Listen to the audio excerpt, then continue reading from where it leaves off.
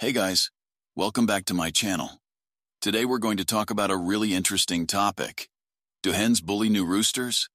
As most of you know, hens and roosters are social animals, and they live together in a flock. However, when a new rooster is introduced to an existing flock, things can get a little complicated. The reason behind this is the pecking order or hierarchy in the flock. The pecking order is a social structure that determines each bird's status in the flock. The highest ranked bird is the alpha, while the lowest ranked bird is the omega. When a new rooster is introduced to the flock, he needs to establish his position in the pecking order.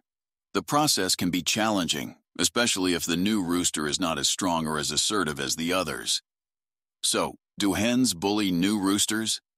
The answer is, it depends. If the new rooster is strong and dominant, he will usually be able to establish his position quickly, and the hens will accept him. On the other hand, if the new rooster is weak, the hens may sense this and bully him.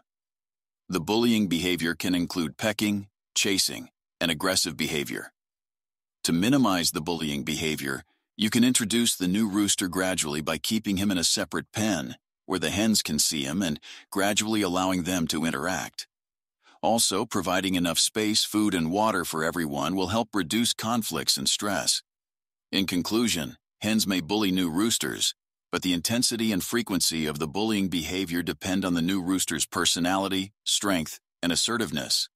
So if you want to introduce a new rooster to your flock, make sure you follow the best practices to minimize the conflict and ensure that everyone gets along.